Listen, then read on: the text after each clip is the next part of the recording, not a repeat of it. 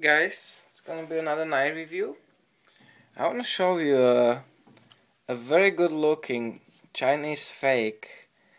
Uh, there's the thing, it is Chinese fake, but it's not sell it's not sold as one, which is which is kinda positive in my opinion. This knife is a is a copy of a Fox Trakker. It's just another version of the of the well-known Tops uh, Tom Brown tracker, and this is the the army version of it. It's uh, the the idea of the blade is the same, but this is the army version of it, same like a Fox has, Fox knife, the the expensive Ita uh, Italian company, or also the Extrema Ratio has the very similar knife.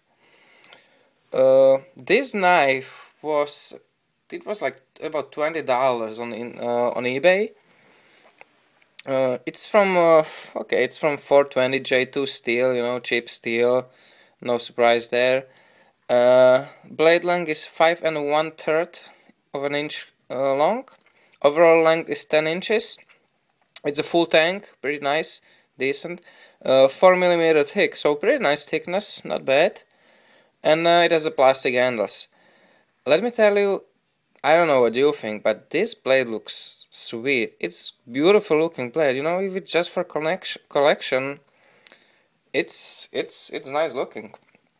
And if you look closer here, this design, it isn't actually just the paint on the blade.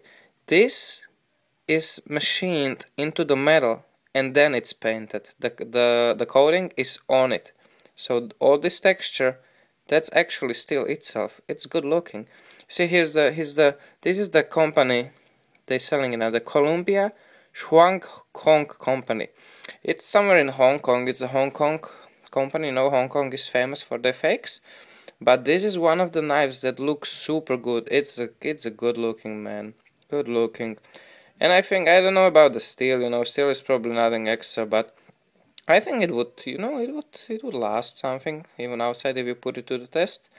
Uh, this is more of more or less my collection piece. That's just I bought it just because of the looks because I would never buy the original Fox version, which is almost like uh, $180 if I remember right. Uh, nice full tank, fits in hand pretty good, man.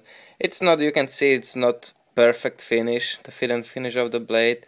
You see there's a little little step from the from the tank to the handle. But you know what do you want for $20 knife and for this size? It's good looking.